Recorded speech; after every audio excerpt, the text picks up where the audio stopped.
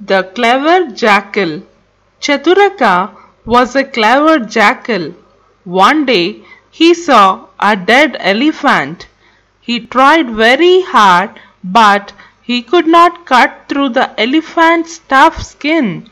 He was wondering what to do when he saw a lion coming his way. He thought of a plan to keep the lion from eating the elephant. Your Majesty, Chaturaka said, this elephant was killed three days ago, but I have saved him for you. I eat only fresh kill. Saying this, the lion walked off.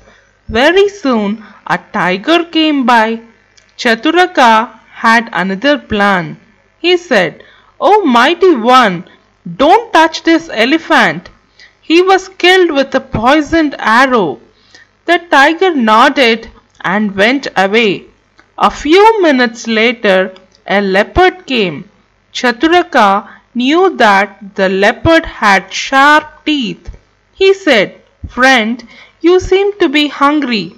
Eat this elephant.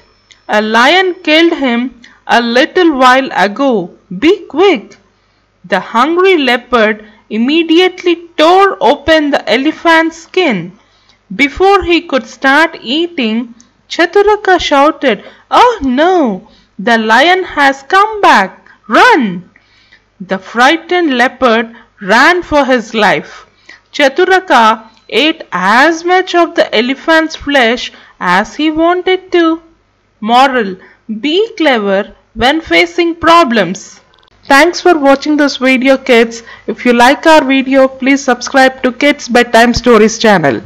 Bye bye.